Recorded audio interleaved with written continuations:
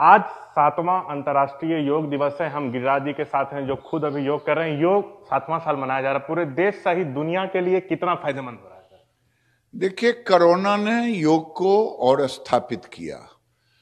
मनुष्य जब कोई किसी भी चीज़ से जब उन्हें कुछ फ़ायदा होता है, तब योग उस चीज़ को पकड़ते हैं।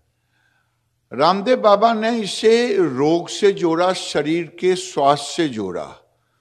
प्रधानमंत्री जी ने पूरे दुनिया में योग को, चाहे यूनाइटेड नेशन के तरफ़ से, ला करके एक केवल भारत के प्राचीनतम, अगर आप कहें कि योग पतंजलि के नाम से जाना जाता है, लेकिन मेरा मानना है कि मैं देख रहा था अध्ययन का कि योग का योगाधिपति महादेव उन्हीं को माना गया सप्त ऋषियों के माध्यम से उन्होंने योग को लाया।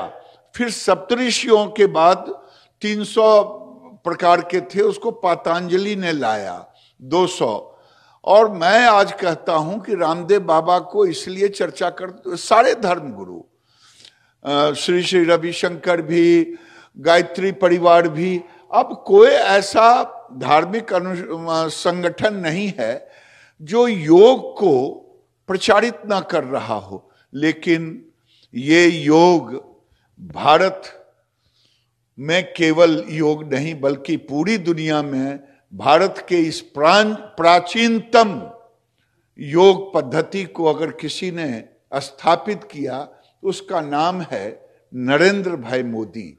जब मैं देख रहा था पिछले कोरोना एक का, जापान के आराधना स्थल पर। ओंकार से उनको फ़ायदा हो रहा था।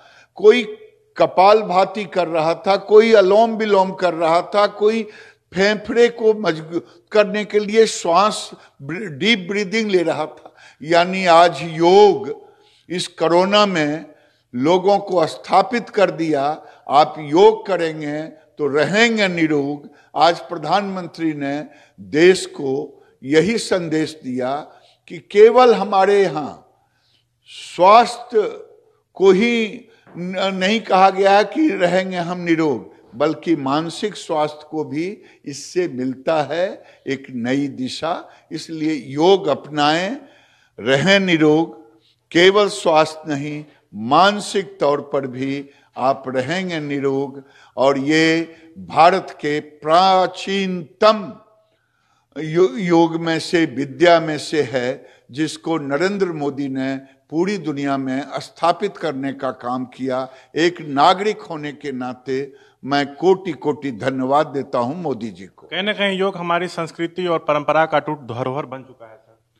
बिल्कुल आज योग के माध्यम से भारत के संस्कृति और संस्कार को भी लोग मानने लगे हैं, पद्धति को मानने लगे हैं, जीवन शैली को मानने लगे हैं। उसमें जितना आप डीप जाएँगे, अब भारत के हर चीज़ को अनुकरण कर रहे हैं। जब मोदी जी रशा गए थे, मैंने वहाँ देखा टीवी पर कि इस्कॉन के जो अनुयायी थे रशियन, वो साड़ी पहन के भारतीय संस्कृति में अपने को रखा था। तो आज भारत की संस्कृति, भारत का व्यवहार, भारत की पद्धति, भारत का योग आज सब स्थापित हो रहा है पूरी दुनिया में और इसके लिए मैं नरेंद्र मोदी को जितना धन्यवाद दूँ, वो कम होगा तो ये थे हमारे साथ योग दिवस पर बातचीत करते हुए गिरिराज सिंह, दिल्ली से ईटीवी भारत बिहार के लिए मैं शशांक कुमार।